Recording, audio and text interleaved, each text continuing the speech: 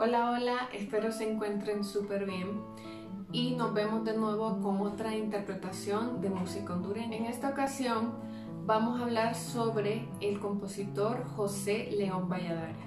Este compositor dejó su valioso legado siendo director y arreglista del grupo Voces Universitarias de Honduras, Nacional Autónoma de Honduras, siendo profesor de la clase de guitarra popular. Dejó grabaciones en disco de vinilos y CDs.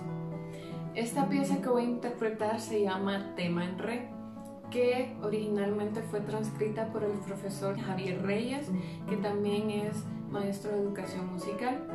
Menciona que él, escuchando un disco de vinilo en la Escuela Nacional de Música, sacó de oído esta melodía y esta composición. Más tarde, mostrándosela al compositor José León Valladares, a quien se la dedicó. Con ustedes, tema en re